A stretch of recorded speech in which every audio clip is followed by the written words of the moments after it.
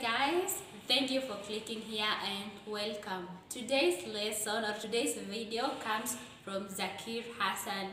And zakir wherever you are hi. And he asked me to upload a video on oral skills. And so today i'm gonna teach you about the sound devices in poetry. Focus with three sound devices that is alliteration assonance and consonance. I start by defining alliteration and it is the repetition of initial, initial consonant sound at the beginning of words which follow each other closely in a poem. The keyword is initial consonant sounds but not letters in words which follow each other closely. And I have uh, some examples here on the board and we have the blue bag is his, but the little light one is mine. So we are going to look for the consonant sounds which follow each other closely in these words. So we have the blue bag. We have b sound b and this one they are the same and they follow each other closely. This is alliteration. And number two is his, but the little light one is mine. And we have l and l.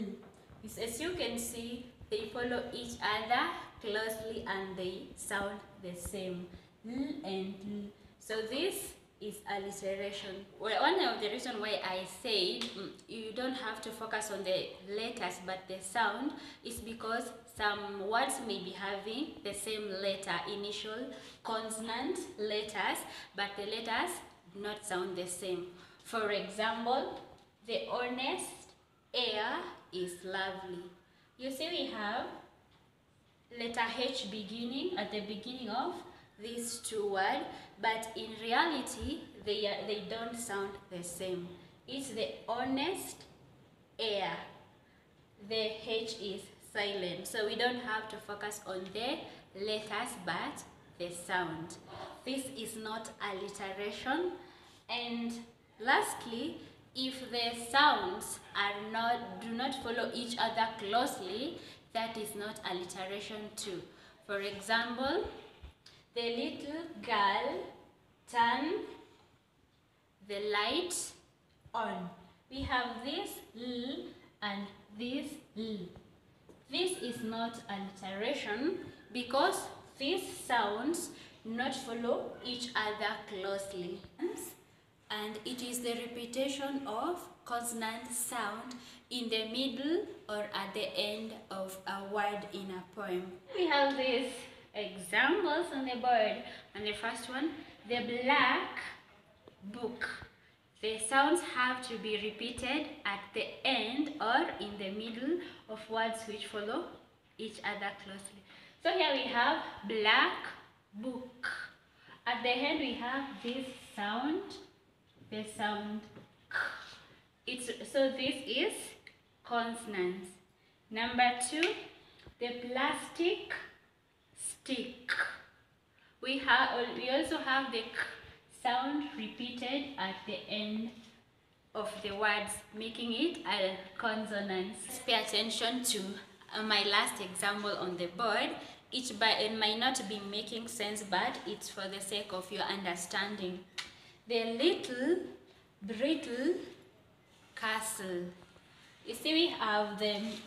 This here, the letters are vowels, but the sound that we, we, we hear when we pronounce the word is the l. So we have here l, brittle, little, and castle. So if you focus on the letters, you might end up being wrong. So this one too is consonance. Look at the consonant sound repeated in the middle of the words. Uh, we have the little brittle. We have that and the two. This one, it is repeated, making it consonance. Have a look at the distinction between alliteration and consonant. First, the, the similarity is both involve the repetition of consonant sounds. And the difference is, in alliteration, we focus on the initial consonant sound in words which follow each other closely. But in consonant, we focus on the consonant sound in the middle of a word or in the at the end of words that follow each other closely. So that is the difference. Don't confuse between the two. Words that we are looking today is assonance and this one is the repetition of similar vowel sounds in words that follow each other closely in a poem. For example, the wet weather. We are looking for vowel sounds and the vowel sound that we have here is so we have the a wet air and weather we have an a and this qualifies to be assonance. My second example, the clan man. Can you identify the similar sounding vowels? Yes, we have the er and the er. The clan man and that qualifies to be assonance. Now to the three sound patterns, let us now go to the poem. And in your exam, you'll find a question asking you identify the sound devices or the sound patterns in a poem. And I have my poems here, uh, some small sections of a poem. And we are gonna identify the sound patterns in these poems. And we are gonna do it together. You can pause your video and try to see if you can see them. The first poem the sounds begin again. In the first line, we have n and n. And when uh, consonant sounds occur uh, at the end of words which follow each other closely, that is consonance. The same two words we have begin, we have this sound and this sound. They are consonant sound occurring in the middle of two words and that is also consonance. We proceed to the next line, the siren in the night, the thunder at the door. So here we have and and you see the sounds are occurring at the beginning of words. So that is alliteration, the shriek of nurse in pain. So in this poem, in this poem we have consonance and alliteration. Let us look for assonance. I want us to focus on this line. Like dark, sinister, wind. We have C, ni, and this one.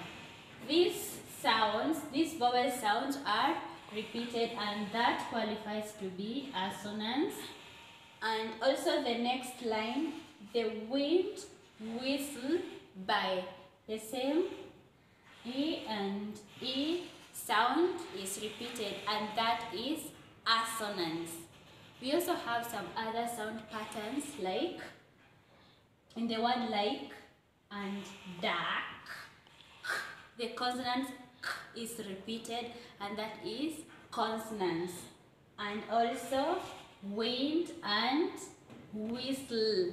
That is alliteration because it's at, it is at the beginning of a word. So that is the end of our lesson today. I hope you have learned. One two three something new. I'll see you next time. Thank you for watching bye bye